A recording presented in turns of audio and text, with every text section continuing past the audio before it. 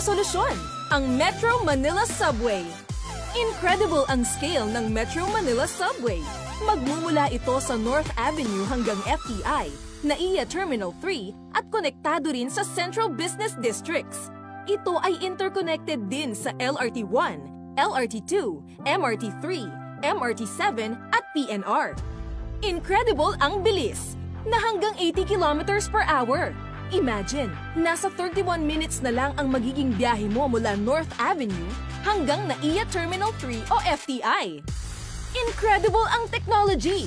Advanced Japanese technology kasi ang gagamitin tulad ng sa Japan Railway System at meron din platform screen doors. Incredible ang accessibility dahil interconnected ito sa mga linya ng MRT, LRT at PNR, gaya ng sa North Avenue, Anonas, FTI at Lawton West stations. Connected din ang mga station sa iba pang public transport terminals tulad ng bus, jeep at taxi.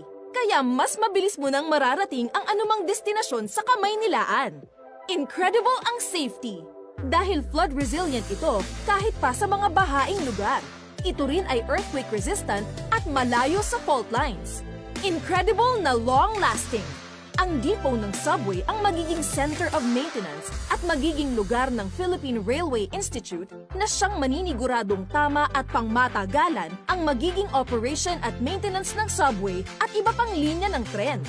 Hindi to drawing! Dahil magbubukas ang partial operability section ang unang tatlong stations ng subway na nasa Quirino Highway, Tandang Sora at North Avenue sa 2022. Isa lang ang hinihingi namin sa bawat Pilipino.